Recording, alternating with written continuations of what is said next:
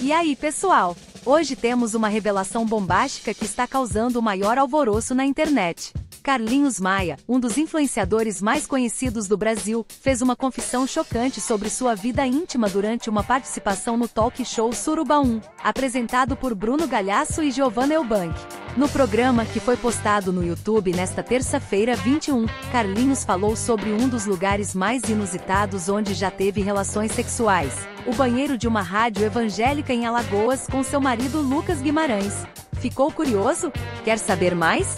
Então já se inscreve no canal e não perca nenhum conteúdo dos famosos que você ama se inscreva. Durante o bate-papo, Carlinhos explicou que ele e Lucas tinham um programa de rádio no interior, onde a maior parte da programação era evangélica. Eu e o Lucas tínhamos um programa no interior e a maior parte da grade da rádio era evangélica.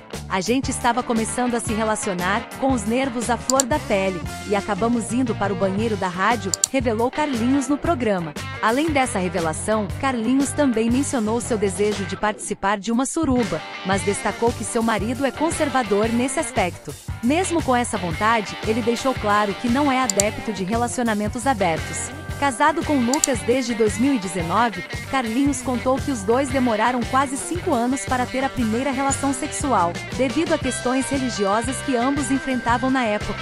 Essas confissões de Carlinhos Maia certamente dão o que falar e mostram um lado bem diferente do influenciador que estamos acostumados a ver. Fica a reflexão sobre como a intimidade e as escolhas pessoais podem ser influenciadas por diversos fatores, inclusive crenças religiosas. E vocês, o que acham dessas revelações? Até a próxima, pessoal!